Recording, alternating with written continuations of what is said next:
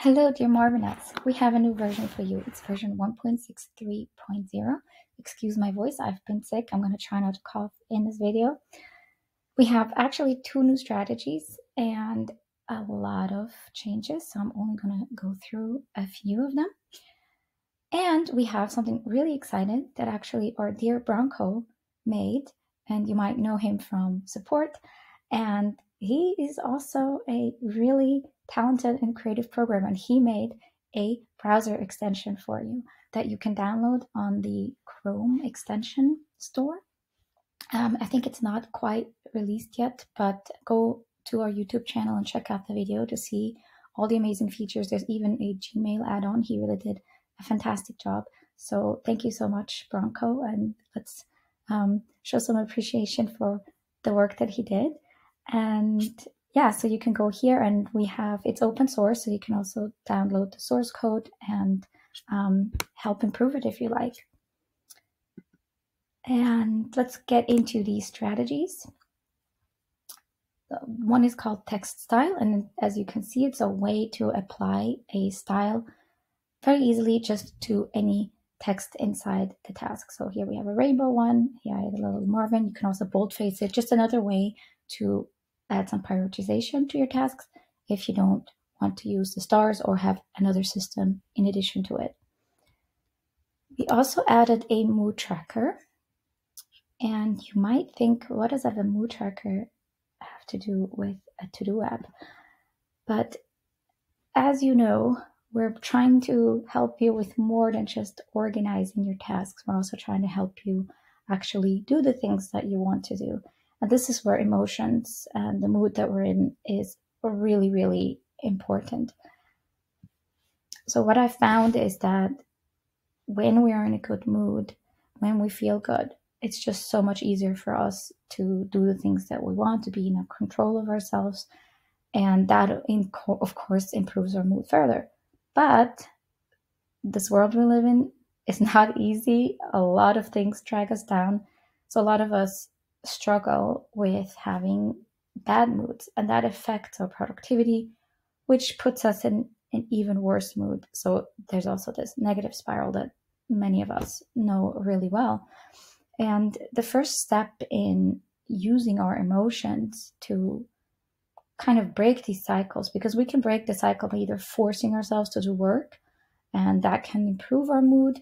But that, in my opinion, is a much harder way to approach this than to find ways to actually improve our mood. Now, of course, we can do both, and that's the beauty of this interconnectedness. You can you can work on either one, and it will affect the other. But I think sometimes it's a bit overlooked um, to approach productivity from this emotional place. Um, and the mood tracker is really the first step in doing any kind of emotional work, which is awareness. That we just become aware in different moments in time of what is actually going on inside of us. How do we feel? At the top, there's just a simple rating scale from one to five, if you will. That's sort of the first step, just trying to check in where approximately you fall on the spectrum right now for good and bad emotions. And then you can also try to be more specific and you have your more positive emotions up here, the negative ones down here, and you can kind of try to see what resonates at that time. And additionally, you can also write down some insights of what is actually happening inside of you. What are you thinking about right now? What are you concerned about? Or what are you excited about? So that you can kind of make deeper connections between the feelings that you feel and how this maybe relates to something that's going on inside of you. Because sometimes we are just focused on certain thoughts. Um, but sometimes it's also something that's going on outside of us, something that's happening in our lives. Um, and so then how we relate to it. Well, this is really a tool of introspection, which is always the first step. And do not underestimate how powerful something like this can be to just regularly um, check in with ourselves. And often the solutions will follow. But of course, this is also just for us, one step in something that we have planned and how we want to help you more with all of this, uh, with your emotions and your productivity. Um, so stay tuned. But we hope that this is already of some help to you. There is will be a history, and I think this needs a lot of work in terms of interfaces. So as always, let us know your feedback. We're just kind of doing quick and dirty. Um, and yeah, when you enable this strategy, you can add the mood tracker into any of your menus as usual. So here I, I linked it up into the sidebar so that you have easy access. And there's also keyboard shortcut I for checking in with yourself. Um, we also finally added some reward that many of you have lock- unlocked already if you have reached level 90. And that's being able to add a background image to the sidebar. And you do this in the settings here. You can just search for sidebar. I believe it's in the themes. And yeah, be creative with that. I think there's so many cool things that we could um, add into the sidebar because I had an idea for maybe creating a lot of white and then just an image of a person that inspires me why I do the work. So if you have maybe a child and you're working on a project and you're kind of doing it, you know, also to give your child um, a better future or to support your family or even yourself. Like you could put a picture of yourself here um, or yourself as a child or whatever just gives you a sense of meaning and inspiration for the work that you do. Um, so we also added another way that you can use labels. And don't worry if this is starting to get very um, confusing. I do have some ideas now. I guess I'll make some videos, but we now have three types of label groups. So you can have just basic label groups. So they're not really, you know, it's just for your grouping so that you can have more organization with your labels. We have exclusive labels, so they're automatically when one gets applied, another gets taken off. So this can be helpful for some kind of um, stages. And then we added a sequential label group. So if you have a sequence of steps that you take a task through, let's say you have um, blog posts and you make a task for a blog post. There's different phases. You have to do research first, and you have to do a draft, and you have to do polish. You can just apply the research label to your blog post when you created blog post task. And then as you check off the, the label by clicking on it, it's an action label and it's sequential it will automatically create a task. Um, let me show you this actually, so it's less confusing.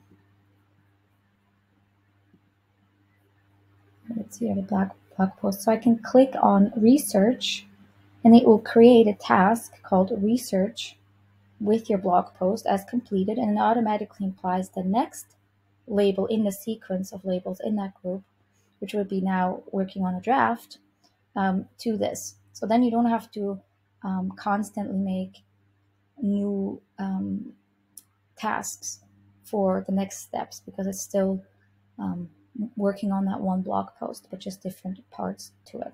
I hope that makes sense. Um, if not, let me know and I can dive deeper on that in the video. But yeah, some people I think are already using the action labels and, and all that.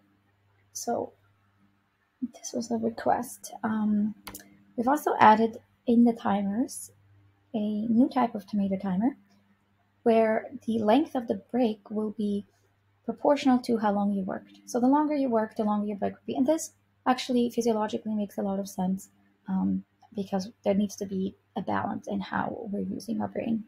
And um, I guess this is also something I could make a video about how to actually take good breaks so that we do get recharged because there's definitely some ways that help our brain recover better than other ways.